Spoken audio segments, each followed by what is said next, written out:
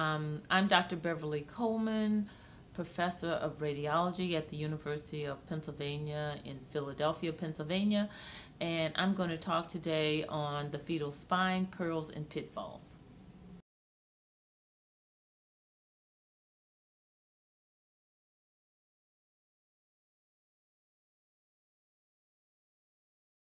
Um, the fetal spine, pearls, and pitfalls.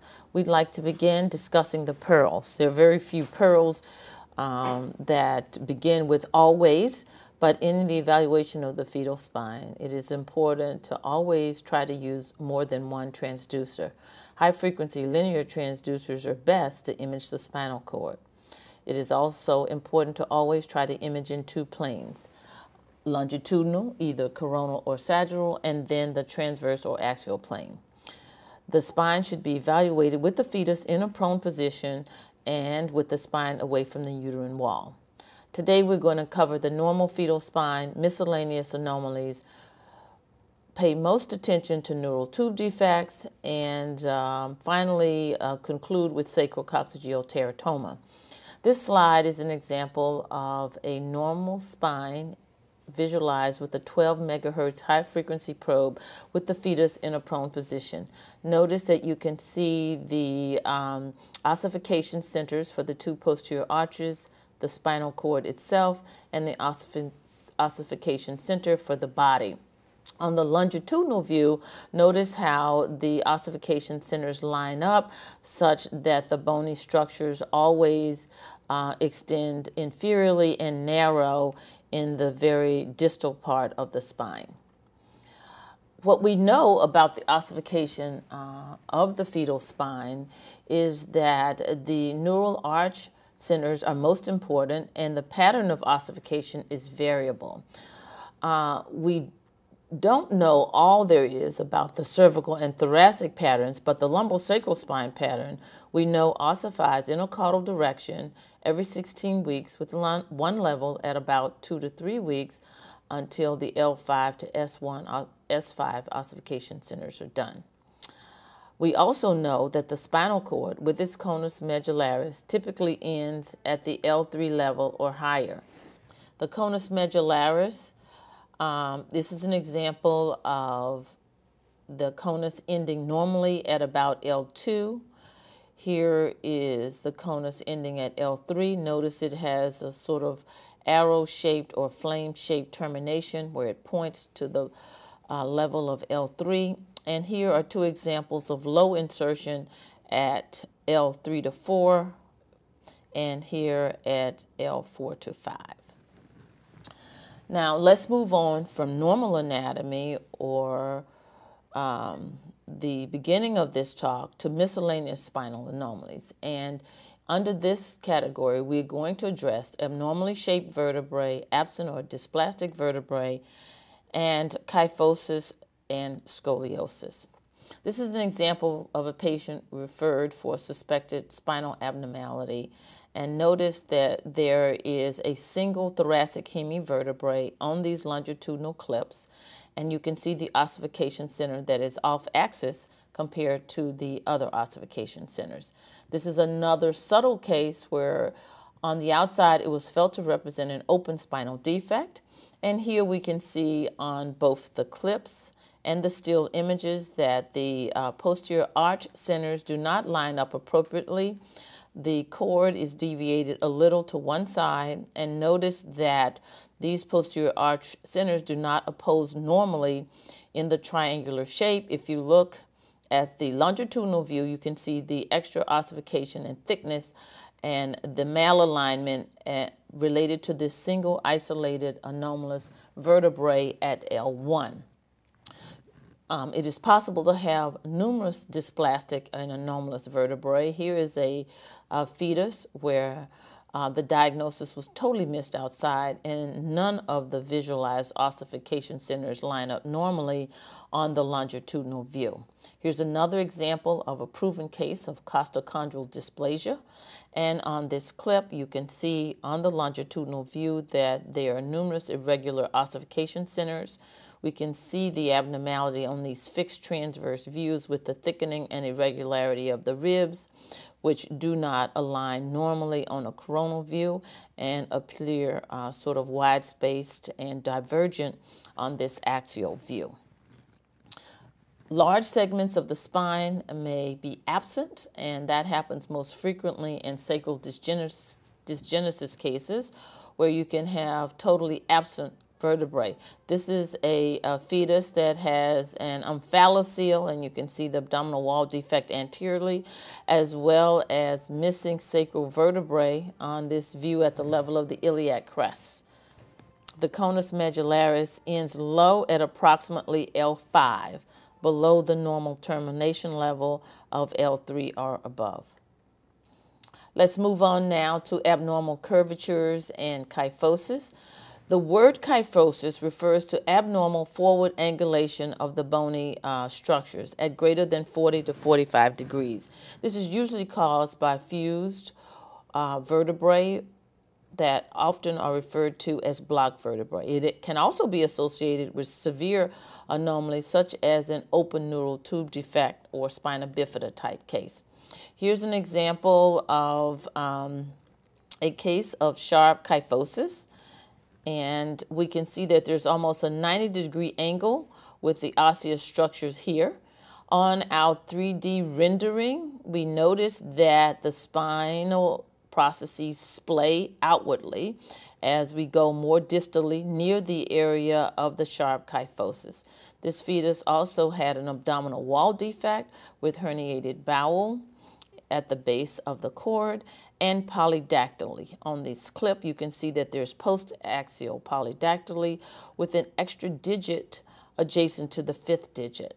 So uh, bony abnormality with a sharp kyphosis, an open spinal defect, and other anomalies. Scoliosis, in uh, distinction to kyphosis, refers to abnormal lateral spinal curvature. This could be right or left-sided or actually an S-shaped wave in both uh, uh, directions involving different spinal segments. In the fetal cases, scoliosis is usually caused by, again, a vertebral anomaly, and this can be absent bones, fused bones, or hemivertebrae. Neural tube defect is known to be associated in scoliosis uh, in about 60% of the cases. And it can also be seen in other uh, anomalies such as limb body wall complex, amniotic band syndrome, Vactor association, and so forth.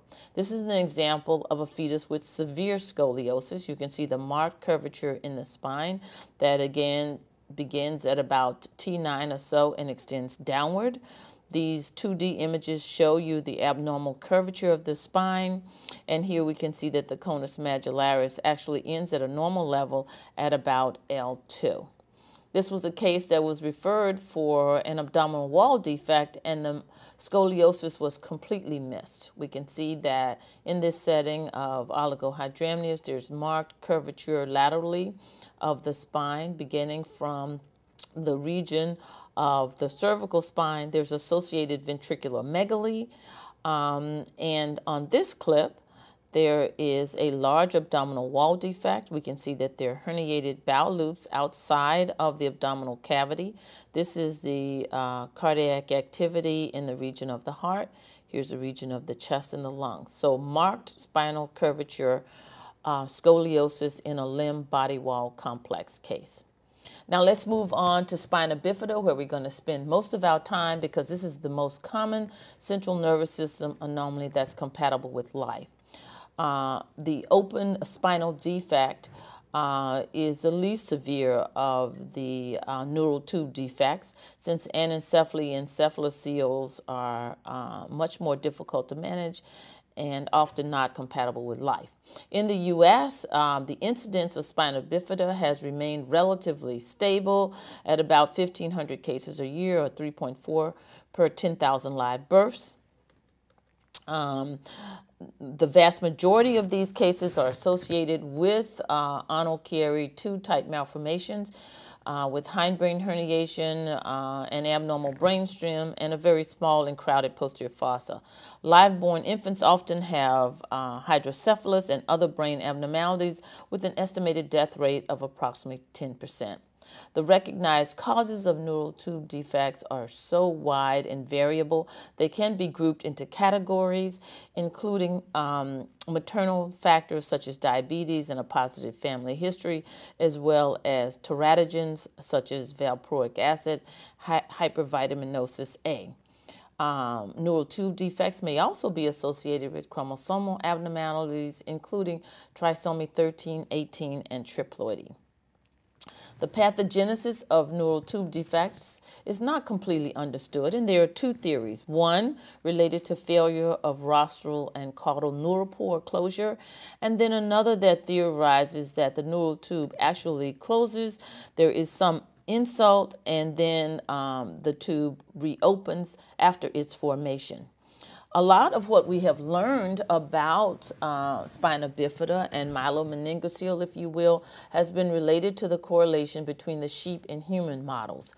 Here's an example of a sheep that was evaluated with an artificially created spinal defect in a laboratory. And here, after birth, we can see that this uh, sheep has paralysis of the lower extremities, similar to this human uh, case of, again, a lumbosacral myelomeningocele and paralysis of the lower extremities after birth. The prenatal natural history of myelomeningocele is believed to be uh, after exposure of the neural elements to the non-sterile amniotic fluid, there is damage to the spinal cord and the peripheral nerves. And this damage results in um, um, hindbrain herniation with associated central nervous system findings, with tethering of the cord and the uh, open uh, defect with exposure of the neural elements to the amniotic fluid, uh, ultimately causing paralysis, bowel and bladder um, abnormalities, orthopedic deformities, and so forth, with the severity of the lower limb deficits uh, directly related to the level of the spinal injury. Here's another graphic example of, again, a um, L5 to S1 myelomeningocele in a fetus with trauma continuing throughout um, the pregnancy until this is the appearance of the defect after birth. You can notice uh, how the lesion appears um, after um, additional weeks of exposure to the amniotic fluid. And here is a view of the newborn with uh, the lower extremity abnormalities uh, resulting from this further damage related to uh, the toxic effects of the amniotic fluid. Recently, uh, the MOMS trial, which uh, was entitled Management of MMC Study, was reported in the literature. This was an NIH-funded trial at three centers, Children's Hospital of Philadelphia, University of California at San Francisco, and Vanderbilt, where over a thousand women were screened for seven years. 183 women were ultimately randomized to pre or postnatal therapy, and the trial was recently uh, stopped earlier this year due to proof of efficacy. The results were reported in the New England, Meta, uh, New England Journal of Medicine in February 2011, and uh, the results are very interesting. First off, the inclusion criteria were that these uh, women had to be residents of the United States, um, they had to have a singleton pregnancy in the first trimester, 19 to less than 26 weeks. They had to have a myelomeningocele from T1 to S1, maternal age greater than 18 weeks, normal karyotype, and evidence on ultrasound of hindbrain herniation. The exclusion criteria were if there were other anomalies, um, there were risks uh, of preterm birth, including abruption, or if the patients were morbidly obese with a high BMI. And finally, if there were surgical indica uh, contraindications due to uh, prior cesarean sections or surgery on the uterus itself. Here's an example of images showing exactly how the surgical procedure is uh, performed. Here we can see uh, the hysterotomy has been done. The lesion is uh, exposed. You can see the uh, myelomeningocele defect there. The sac has been opened and we can see the opening in the spine.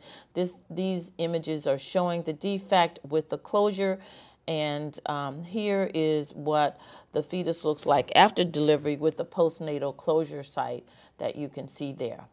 The reason the trial was stopped is that uh, as the preliminary results were being analyzed, it became clear that the outcome for prenatal therapy was better than postnatal therapy.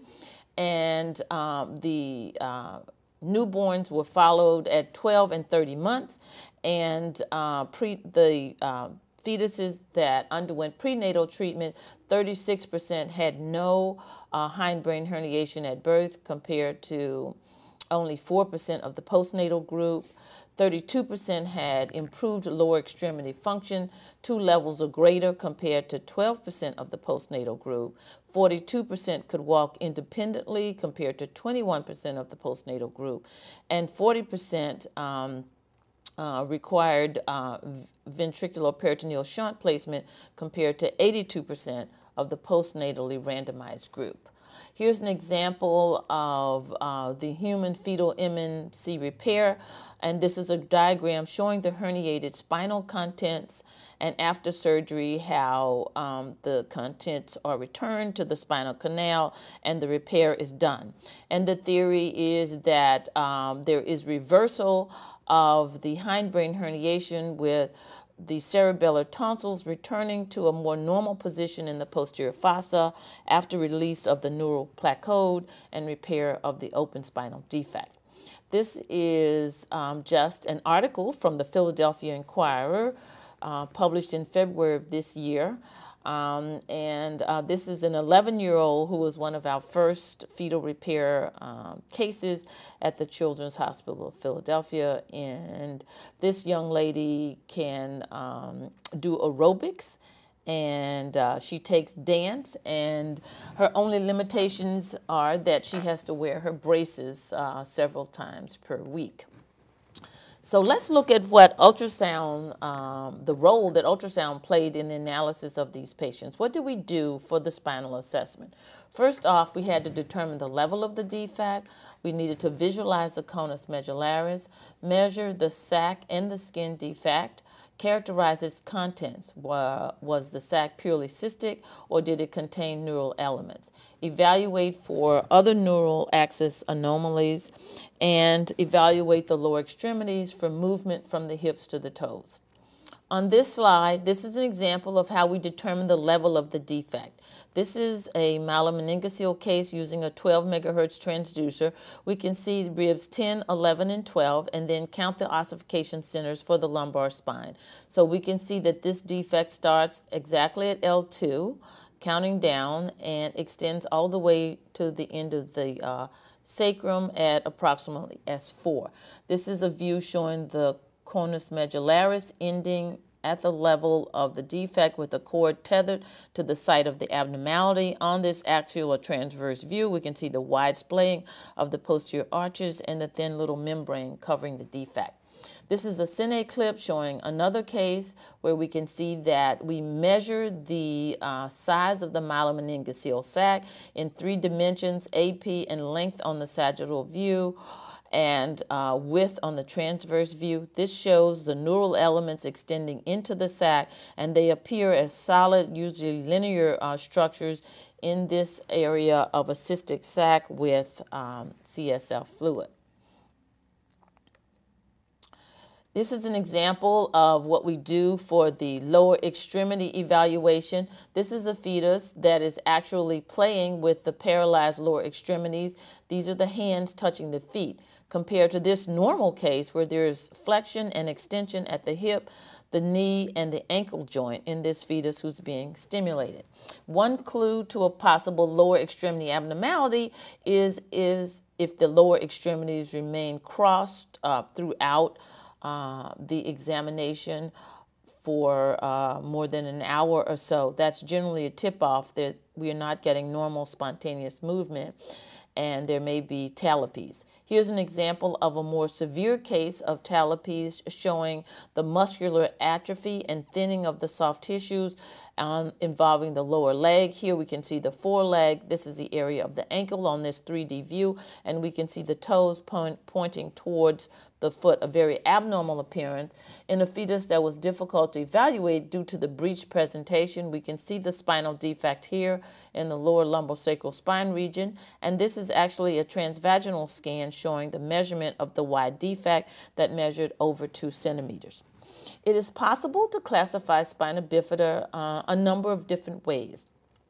Spina bifida occulta generally refers to a subtle abnormality that we often can see on x-rays. Sometimes these are not detected until adult life and in some newborns these can, these can present as a sacral dimple or hair tuft.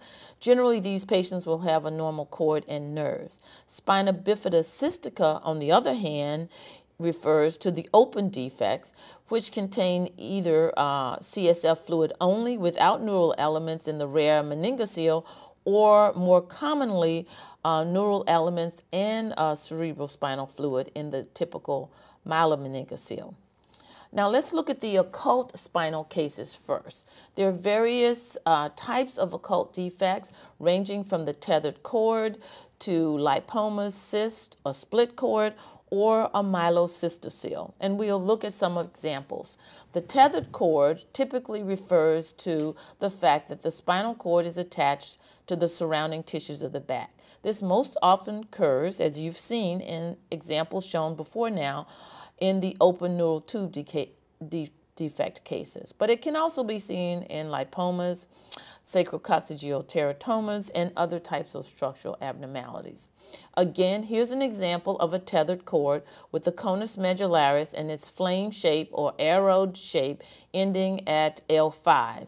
And here's another example with, again, the conus medullaris is flame shape ending at approximately L3 to 4, which is lower than expected. This is an example of a tethered cord this patient was referred in for a possible open neural tube defect, and we can see that there is thickening of the skins and a calcified echogenic focus in the soft tissues of the subcutaneous area of this fetus.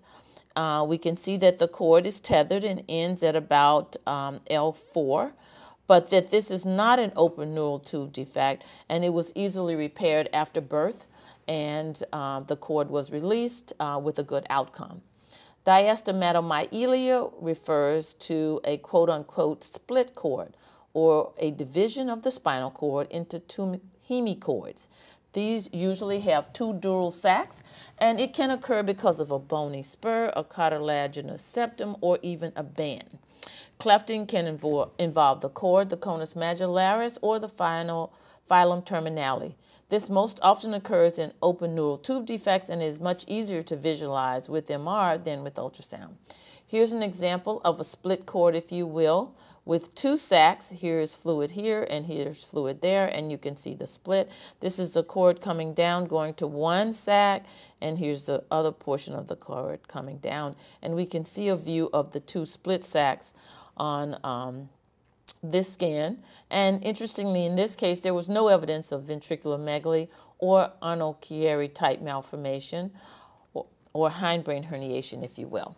Here's another example with, um, again, a split cord where we can see the fibers of the spinal cord coming down and splitting into two in the lumbosacral area. Again, a coronal view showing the fluid separating the spine there into two uh, specific hemichords, in this case of an open neural tube defect or myelomeningocele.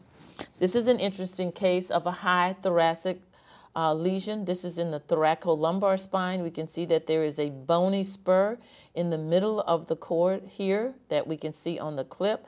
This is a view showing the cord split around the bony spur. And here's at the level of the defect, we can see that there's also an open spinal defect with the skin covering with a thin membrane here. And this is a view showing the wide splaying of the posterior arches and the bony bridge here.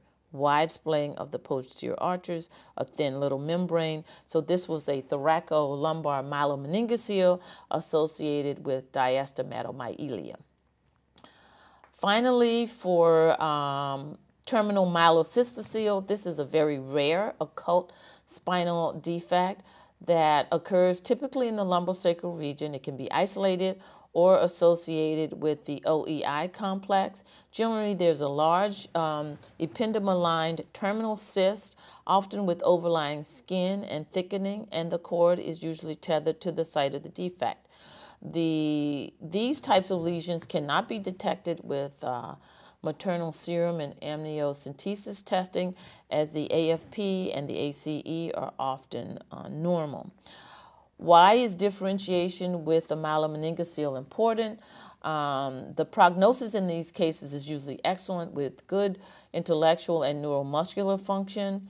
It is a sporadic defect, and so there is not a high recurrence risk with other open um, spinal defects.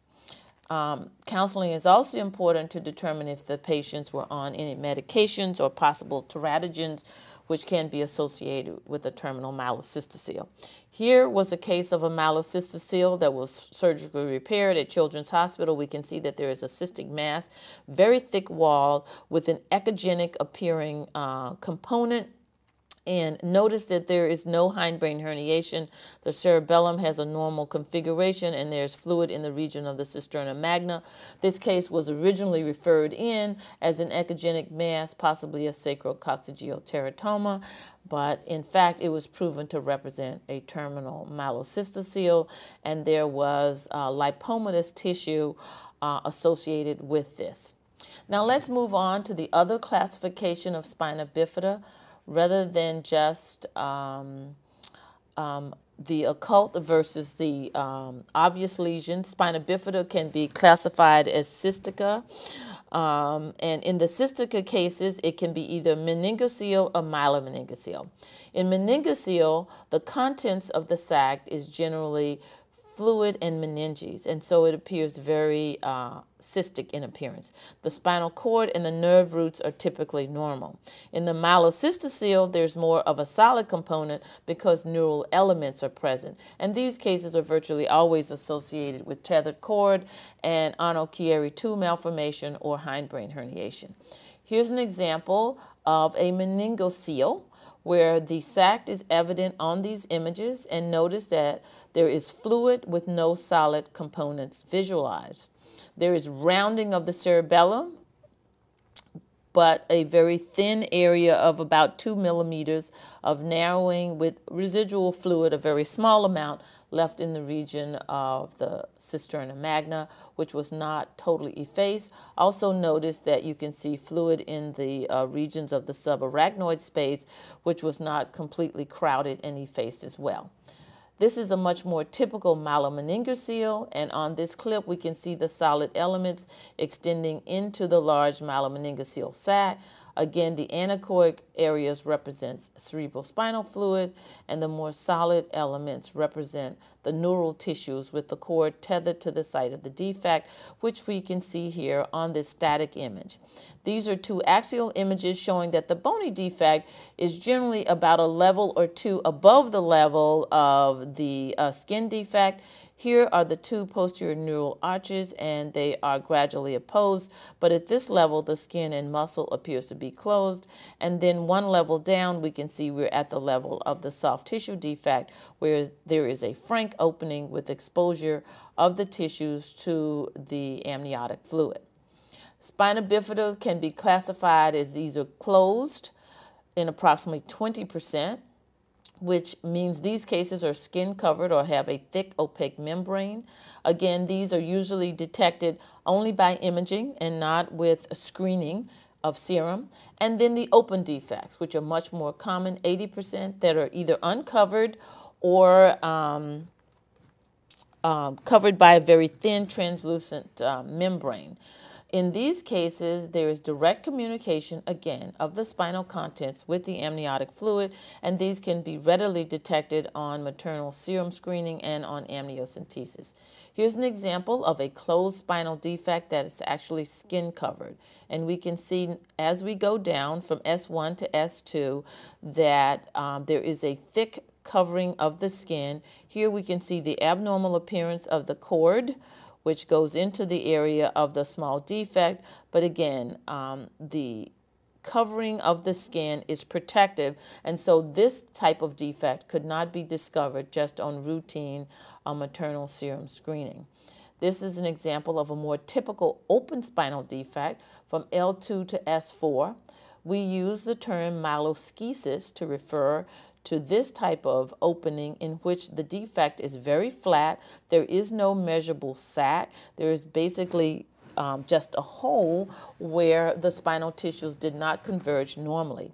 And if you notice these actual views here at L1, the posterior arches are closely opposed. They start to gradually separate at L2 with a subtle bony defect, a little bit more separated at L3, and then more widely splayed at L4 at the level of the skin defect.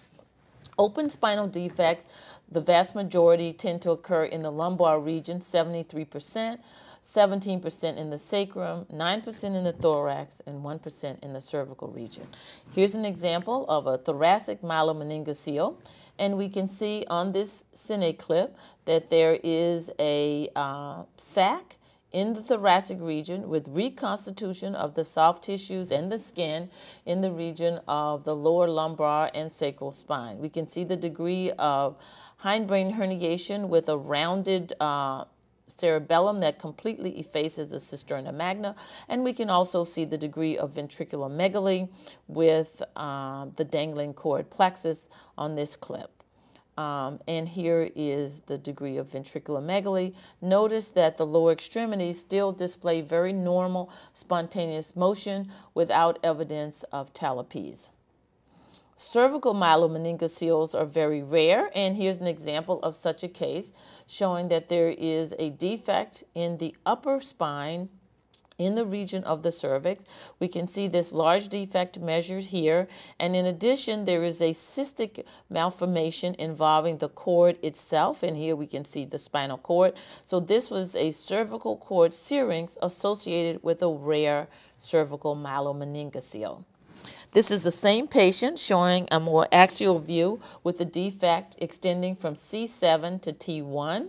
And here on this view, we can see the covering and the large defect. And at this region, we can see the cystic area of the syrinx.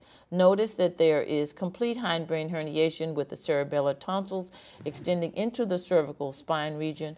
There is severe cerebral ventriculomegaly measuring uh, 2.8 to 2.5 centimeters with a dangling choroid plexus. And here is the region of the uh, conus medullaris, interestingly, that ended at L2 to 3 in the normal level. Um, there are known to be cranial findings associated with open spinal defects, and these range from ventriculomegaly to the fruit signs, lemon and banana, uh, cisterna magna effacement or Arnold Chiari 2 malformation, if you will. Another term is hindbrain herniation. And if that is severe, there can also be associated microcephaly. This is an example to illustrate the importance of trying to visualize both lateral cerebral ventricles.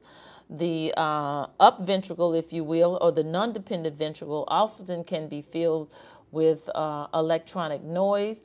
But here we can see that the uh, left ventricle, which was non-dependent, measured 13 millimeters compared to the dependent right ventricle, which only measured 10 millimeters. This is another case of myeloschisis. We can see that there is a flattened defect without a well-defined sac. On this axial view, splaying of the posterior arches with a thin covering membrane. This is an example of the lemon sign, which refers to concave frontal bones. And here we can see the lemony appearance of the frontal bones. Interesting in this case in that there was no ventriculomegaly. The ventricles both measured um, less than 8 millimeters. The spinal cord was tethered to the site of the defect that we see here. And again, here we can see that this was a low sacral lesion uh, without ventriculomegaly, but with a nice lemon sign. So what is the value of the uh, signs in the brain? Normal cerebral ventricles and the spine on an outside scan. If you see the fruit signs, it means that we must go back and do a much more detailed evaluation to try to pick up a very subtle abnormality. Here is a case showing the ventricles that are measuring five millimeters. There is frontal bone concavity with the lemon sign and the abnormal curvature of the cerebellum with the banana sign. In a case such as this, we would need to go and do an extremely detailed evaluation of the spine all the way to the very lower spine to make sure that any potential uh, lesion was discovered. And here is a case of where the S4 lesion is so low and so subtle that what led to uh, a second opinion searching for the abnormality was the persistence of the uh, CNS findings. And here on this clip, if you follow it down, you can see how the spine looks formed. Normally, the posterior arches are relatively well opposed. Uh, however, when we get to the very, very lower area of the sacrum, we can see the divot in the soft tissues and a tiny little cystic abnormality here that is indicated here by this arrow. Here is the subtle splaying of the posterior arches there. And here is a view using a 12 megahertz transducer showing the uh, conus medullaris tethered to the site of the defect. A very low sacral lesion with subtle uh, CNS findings which tipped us off to search diligently for the correct diagnosis which was missed on the outside scan. What are the accuracies of these um, um, markers in the brain? The lemon sign is extremely sensitive, as is the abnormal cerebella or banana sign. However, the posterior fossa is more valuable because the abnormal cerebellum tends to remain throughout the gestation whereas a lemon sign may convert as the skull and cranial tissues mature, and therefore it has been reported that in the later third trimester, later second and third trimester, that a lot of cases will not necessarily have the lemon sign, but will have the banana sign due to the abnormal crowding of the posterior fossa and the hindbrain herniation associated with myelomeningocele. This is an example of pseudomicrocephaly in a case with severe hindbrain herniation. And here we can see that the ventricles, again, were just at the number of 10.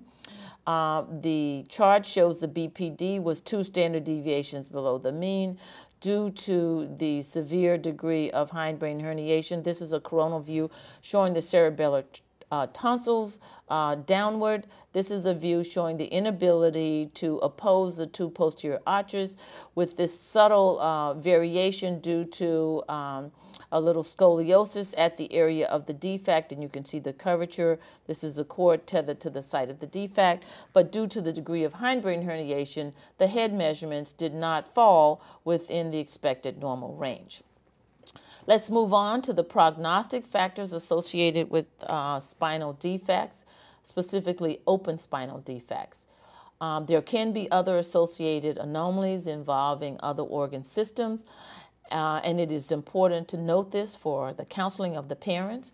It is also important to determine, as we have previously discussed, the location and the size of the defect, characterize it as open and closed or closed, and evaluate the degree of ventriculomegaly or hydrocephalus for um, pregnancy management. This is an example, another case of kyphoscoliosis uh, associated with an open spinal defect. Here we can see the thin covering membrane, the abnormal cerebellum with the banana shape, and notice that, again, the ventricles measured within the range of normal at 9 and 10 millimeters, and the choroid plexus actually touches the lateral and medial ventricular wall, but there were other associated anomalies. Here is a clip, again, showing that kyphoscoliosis. Notice that there's a grossly abnormal left hand with persistent flexion at the wrist, and there is severe bilateral talipes with the legs crossed at the ankles with no uh, spontaneous motion and atrophy of the muscles of the lower leg. This is another example of a myelomeningocele with a number of associated abnormalities. Here we can see the large myelomeningocele sac, both on the longitudinal and the axial view, measured in all three planes, the associated hindbrain herniation with the abnormal appearing cerebellum. The ventricles, again, are just at the magic number of 10, but here we can see the herniated tonsils and the step off of the cervical vertebrae. There was an associated widening of the cervical canal due to a syrinx of the cervical cord. Let's end up now with sacrococcygeal teratoma, which is a rare tumor that arises from the cells of the coccyx. It can occur in association with neural tube defects or other spinal abnormalities. Histologically, there are four different types, one to four, and most masses tend to be solid uh, or complex. A tip-off is if you see focal calcifications, and those mixed in with cystic components, as well as vascular flow on color Doppler can help make the diagnosis. There are complications with these tumors, particularly cardiovascular compromise resulting in non-immune hydrops due to vascular steal from the solid components of these lesions. Here is a table showing the SCT classification. The type 1 lesions are predominantly external with only a small presacral component. Type 2 lesions have a little bit more external component, but type 3 tends to be uh, predominantly internal and the rare type 4 is entirely internal. So let's look at some examples. Here's a large, predominantly solid and hypervascular type 1 lesion. This color Doppler shows flow from uh, the iliac arteries feeding this very large complex lesion that has a few scattered cystic components but is solid for the most part. The vascular steal, in this case, resulted in cardiac compromise with a dilated inferior vena cava. And these are 3D renderings here showing the large mass with the appearance that looks like the fetus sitting on a basketball. What are prognostic factors that influence the outcome in SCT patients? Large, solid hypervascular lesions put the fetuses at greatest risk. Um, children's uh, hospital reviewed their SCT patients a few years ago and uh, looked at about 30 fetuses that we examined over an eight-year period and noticed that the complications developed in about 80% of the cases. Polyhydramnios, there can be too much fluid. Oligohydramnios, too little fluid. Preterm labor was a problem as well as preeclampsia and so forth as you see listed here. Um, of the um, 30 uh, cases, we actually did in utero surgery on three, and three survived after uh, intervention. There were six cases that were predominantly cystic and were treated with cyst aspiration, amnio reduction, or amnio infusion. Here's an example of a patient that's at significant risk of developing non-immune hydrops due to a large type 1 predominantly solid sacrococcygeal teratoma. And here on these 3D images, we can see the uh, lesion in the region of the buttocks here and here. For our sonographic assessment of these tumors, what we do is we evaluate the placenta to uh, assess for possible placentamegaly. We look at the amniotic fluid for either too much or too little fluid and measure both um, the amniotic fluid index and the deepest vertical pocket. We search for additional signs of non-immune hydrops. We uh, classify the SCT as to types 1 to 4. We measure the volume of the mass using the formula for a prolate ellipse, and that is width times length times height times 0.523. We look at the echotexture of the lesion and try to characterize that as predominantly uh, complex, solid, or cystic. We assess the vascularity with color Doppler, and we evaluate uh, the umbilical artery, including the uh, uh umbilical vein and the ductus venosus, again for tip-offs of of any compromise. Here's an example of a very extensive type 3 sacrococcygeal teratoma. Here we can see that there's wide splaying of the bones of the lower pelvis. Um, here, this mass extends internally, and we can see that there's associated ascitic fluid here. The mass effect pushes the liver up, and notice on power Doppler, there's extensive vascular flow to this patient who presented with non-immune hydrops and severe oligohydramnios. This is the corresponding MRI that shows this huge lesion and um, the uh, lack of oligohydramnios, lack of amniotic fluid, in this case with oligohydramnios. What other complications can be associated, with uh, SCT besides non-immune hydrops? And that includes a thickening of the placenta, uh, again, oligohydramnios or polyhydramnios without frank non-immune hydrops, uh, we look for signs of cardiovascular compromise. The uh, mother can actually start to mirror the fetal symptoms and actually get maternal mirror syndrome with swelling of the ankles and cardiovascular compromise. And um, there can be specific complications associated with the mass effect of the tumor or the overall tumor volume. Here's another case of a solid hypervascular type 1 sacrococcygeal teratoma that is predominantly external and uh, again, with significant vascular steal on power Doppler. Here we can see the aorta and the vessel supplying this mass. Here we can see it's predominantly solid.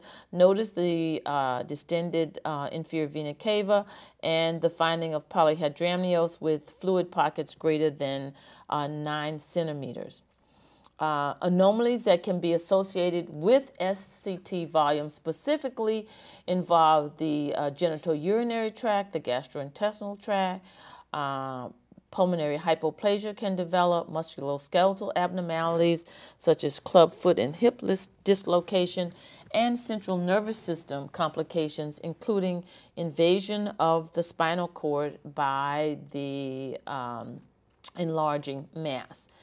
This is an example of a large solid type 2 SCT. We can see that there is a very large external component, but also uh, an element of an internal component bigger than in the type 1 sort of lesions. Color Doppler shows the vascular flow to this lesion, and if you look on this view, there is a solid sheath of tissue extending into the area of the spinal canal due to spinal cord uh, involvement. We can prove this by turning on color Doppler and you can see that there's a large blood vessel extending into the region of the spinal cord and spectral analysis of that vessel shows that there's clear vascular flow extending into the region of the spinal canal with intrathecal flow uh, definitively diagnosing spinal cord invasion by this large SCT.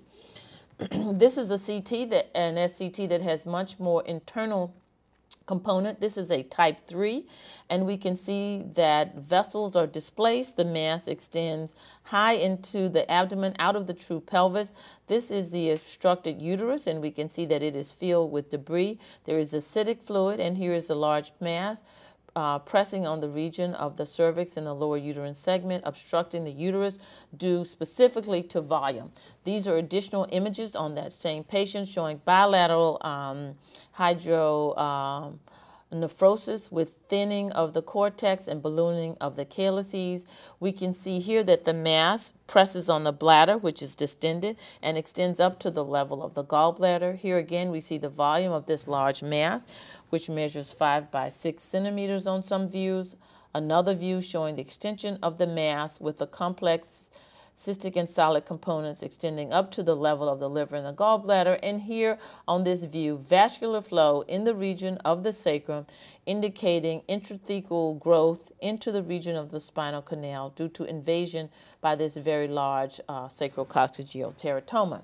This is the rare type 4 lesion with uh, massive abdominal distension due to the fact that the tumor is entirely internal in location. And this view shows that this is not ascitic fluid with floating bowel, but this is the entire mass with both a cystic and solid component. And here you can see the solid components with a large, more peripheral cystic component. You can see that the diaphragm is elevated, the lungs are compressed with this huge type 4 SCT lesion. There's no therapy that can be done really for the type 3 and type 4 lesions due to the mass volume of these lesions and the internal location.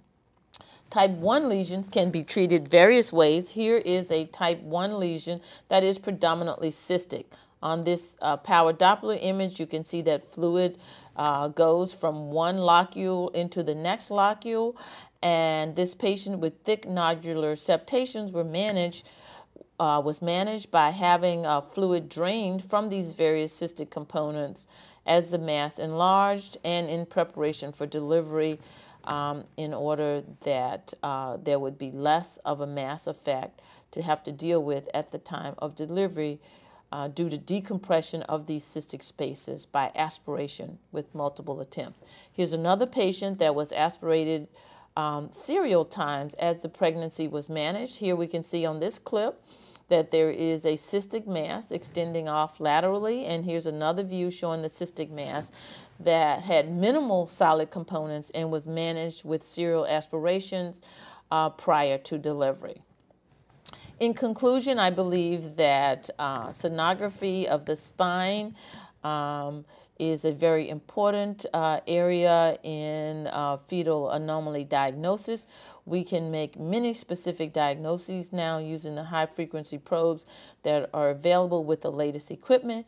And here is one of our fetuses that is smiling because um, uh, he was able to survive after appropriate uh, counseling and management of his spinal defect. Thank you for your attention.